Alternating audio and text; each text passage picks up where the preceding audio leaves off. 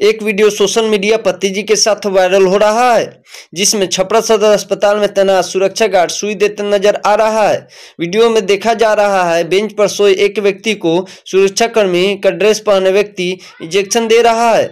सदर अस्पताल में पहुँचे तो मामला कुछ और ही निकलकर सामने आया, जिसमें जिसमें आमतौर पर गार्ड समझा जा रहा है, वह पैरामेडिकल कर्मी है, जो पहले सदर अस्पताल में काम कर चुका है। कुछ वर्ष पहले सदर अस्पताल में कार्य मुक्त कर देने पर अपने परिवार का भरण पोषण करने के लिए अस्पताल में गार्ड का नौकरी करता है। वीडियो में सुई देने वाले व्यक्ति का नाम रविंद्र प्रसाद बताया जा रहा है। आमतौर पर इसे बड़ा बाबू कह के अस्पताल के कर्मी संबोधित करते हैं। रविंद्र प्रसाद कुष्ठ और टीबी रोग विभाग में काम कर चुका था।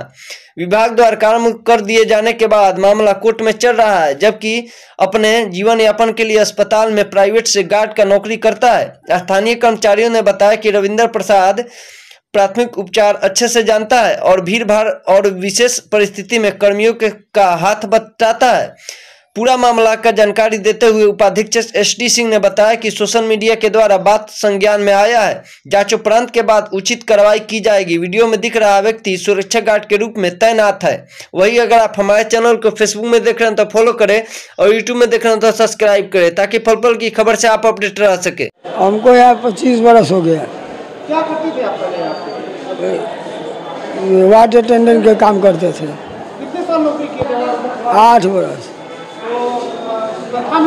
हाँ रेगुलर बारह सौ रुपया। तिरानवे में सरकार ने हटा दिया हम लोग केस में गए हैं सुप्रीम कोर्ट में केस लड़ रहे हैं। रहा है? अभी चौकीदारी में पाँच हज़ार का नौकरी करते हैं। अच्छा एक वीडियो आपका वायरल हो रहा है कल से कि आप सुई दे रहे हैं। न सुई हम नहीं दिए हैं। हाँ? सुई नहीं दिए थे वहाँ उसको उठाकर उस पर रख कर खड़ा थे अच्छा आपको सुई वुई देने आता है ना आपको और सब आता है। हाँ हाँ? आता है। हाँ गिरे गिरे पिरे मरीज़ को उठा कर लाद देना रख देना सब काम कर देना कोई नहीं पूछे हाँ जी। कंपाउंडर वाला सारा काम आपको मालूम है सब पेशाब पैखाना सब उतार देते हैं। रविंदर प्रसाद। तो वो एक आदमी आया, देखा तो हम नहीं जानते कि बनाते हैं। हम तो अपना गरीब आदमी अपने खा, चक्कर में रहते हैं, अपना ड्यूटी किए गए। साहब लोग के गाड़ी पोछ पाछ करते हैं, वही सौ पचास देते हैं। हमको तो मरीज़ से कोई मतलब नहीं, कोई मरीज़ छटपटा रहा है, तड़प रहा है तो उसको उठा कर रखवा देना यही तो काम है।